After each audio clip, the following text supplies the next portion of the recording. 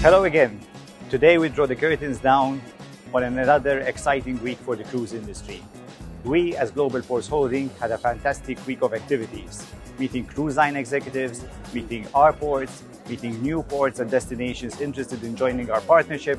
We concluded also with an amazing party, and we were so happy to see all the happy faces enjoying themselves.